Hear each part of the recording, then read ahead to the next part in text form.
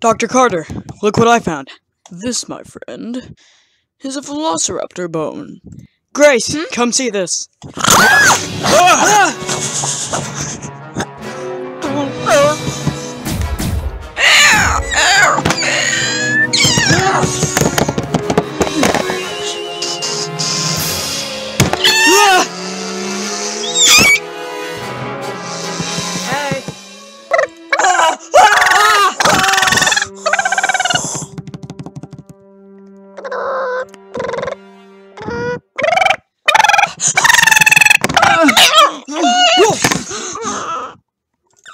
oh, good girl. Good.